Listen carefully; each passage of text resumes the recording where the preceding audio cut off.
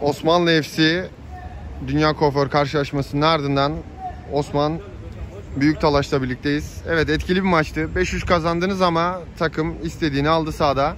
Neler düşünüyorsunuz? Öncelikle e, rakip takıma teşekkür ederim. E, centilmen bir şekilde top oynadılar.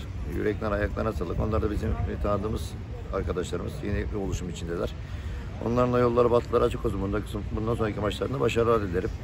Kendi takıma da teşekkür ederim. E, bugün Berkay'ın yokluğunda kırmızı kart cezalısı olmasına rağmen e, birkaç tane yeni takviyelerle galip gelmeyebildiler. E, onları da ayrı bir şekilde tebrik ediyorum. Ben e, rakip